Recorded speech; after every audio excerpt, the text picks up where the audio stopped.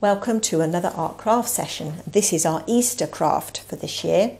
And Easter is a special time for Christians, especially because we remember it's when Jesus died on the cross and rose again from the dead. So for us, that's what we remember. And here we have a cross shape, and that's, that's the cross that Jesus died on that we remember. Okay, so this is the template that you should be given in your craft pack. And the easy thing and the best thing to do next is to colour it in. Now, as you can see, I've cheated and I've put stickers on because I'm not very good at colouring in. I'm sure you will do a much better job than me. So when you've coloured in your template like this, the next thing to do with a pair of scissors is cut around all around the outside so you've got one big complete cross shape like that. There we go. I'll flatten mine down a little bit.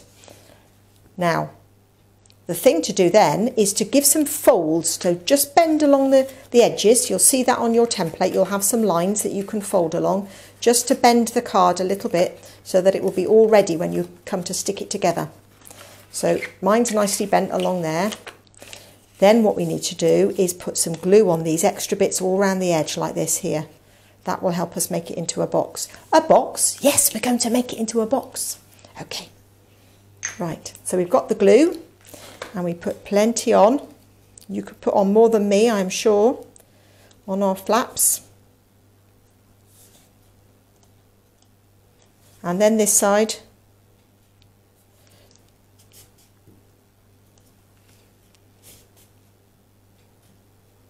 There we are.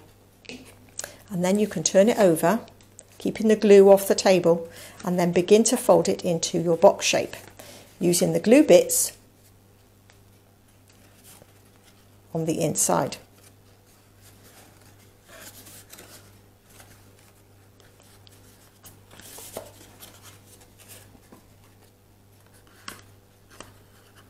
There. So it takes a little bit of pinching together to pinch the glue and the other bits of the card together. And you can get a grown-up to help you with this, I'm sure. And you can see we're almost at a box there. The next thing to do with that is to pop something inside. So I've got some little mini eggs here. I'm going to make as a nice present for somebody, somebody very special. I'll have to think of somebody. Put them in like that. You could put one big egg in if you like, if it will fit. Put them in. That's a nice noise. And then you've got the gluey sides there ready to fold the lid down and press it nice and tightly shut. Oops, there we go. If you want to use some sticky tape, you can do and that might help it stick a bit better. You could also get some string or some ribbon and tie that on and that would be a perfect present. Okay? Whoops. It might need a bit of time for the glue to set. There we go, but we should be okay. So that is your other craft that we've got for this Easter. And have a lovely Easter.